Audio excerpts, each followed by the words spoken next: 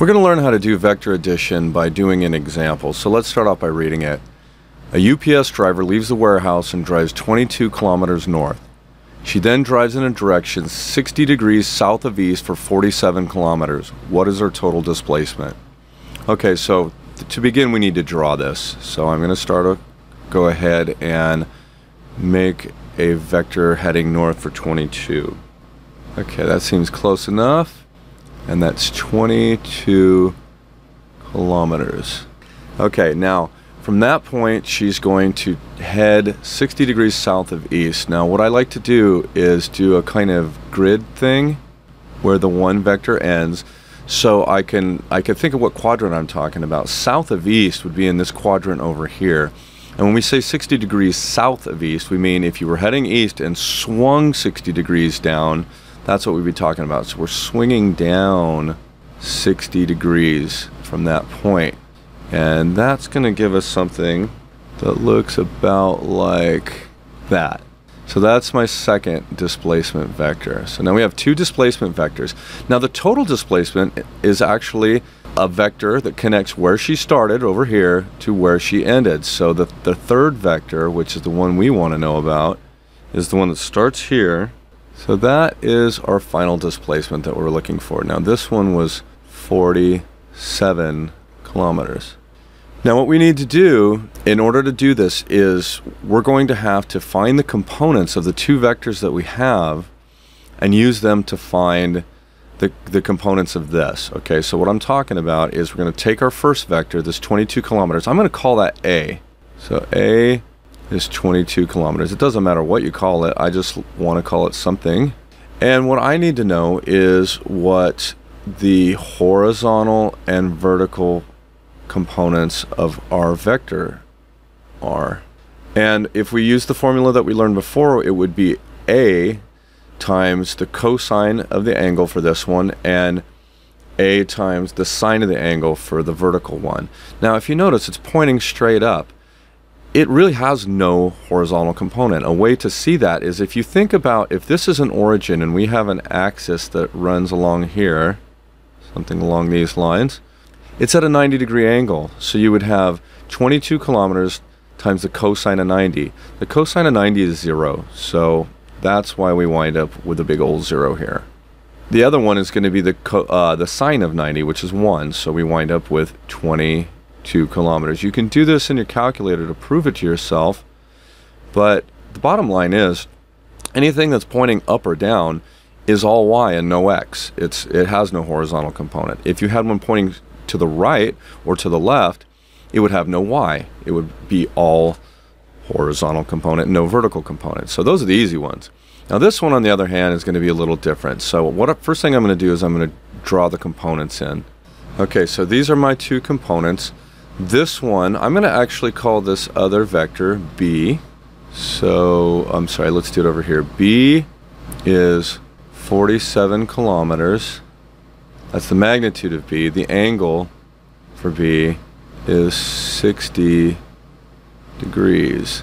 BX is going to be B, which is 47 kilometers times the cosine of the angle that it makes with the x-axis and that's what this guy is.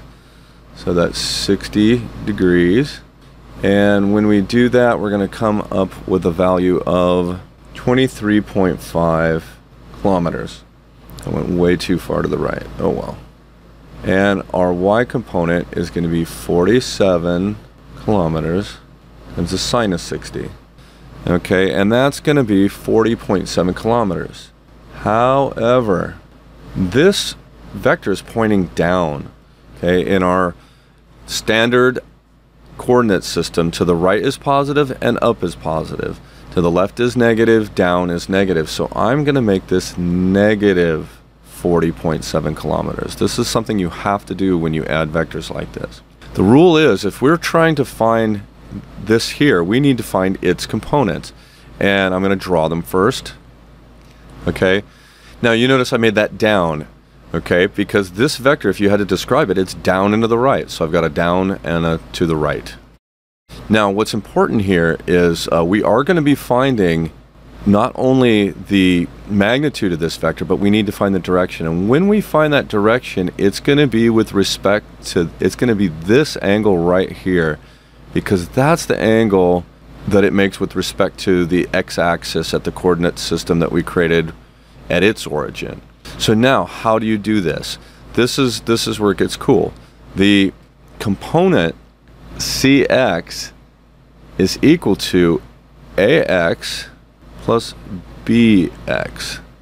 And the y component of c is going to be a y plus by. So what we're going to do is we're going to add the a and bx components together, and then we're going to add the a and b y components together. And let's see what we get. If you take the ax, which is 0, and add to it bx, which is 23.5 kilometers, you get 23.5 kilometers. Let's see if that makes sense. We started off and we went straight north. We didn't go west at all, or east, or any direction. We just went north. Then in our second motion, we went a little bit east and a little bit south. And if you notice, the amount that we wind up total down here to the east is exactly the same as the amount we did in our second part of our journey because that's the only time we even moved east. Okay, so let's look at what happens for our y now. I've got 22 kilometers and then I'm adding by but it's minus so I'm going to put minus 40.7 kilometers and we get a value of minus 18.7 kilometers. Now again, if we think about this, in our first part of our trip, we went north some. In our second part of our trip, we went south some. The amount we went south on the second part is greater than the amount we went north on the first part. And so our total our total displacement winds up being a little south of where we started. So those check out. Now, that's not good enough. Uh, if all we were asked to find were the components, that would be fine, but we need to find actually the magnitude of C and its direction.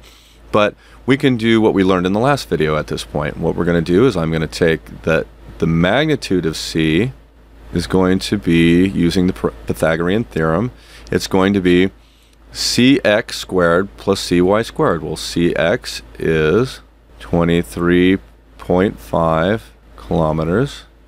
And then cy is going to be negative 18.7 kilometers. Extend that out. Whoop, there we go. And c is going to be 30.0 kilometers. And we're not done with our vector until we find the direction as well. And again, we learned in the last video that you could find this using the inverse tangent of the y component, which in our case is the negative 18.7. I'm not going to make it negative because we don't need to, and I'll tell you why in a moment. And then our x component is 23.5 and I'm not putting units because they're going to cancel. And the angle I get is 38.5 degrees.